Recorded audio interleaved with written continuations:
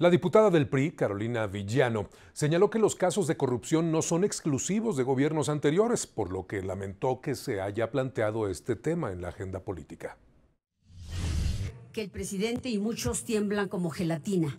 Por eso hoy le han dedicado el tiempo a Xochitl Gálvez, que han pasado muchos actos de corrupción en este sexenio.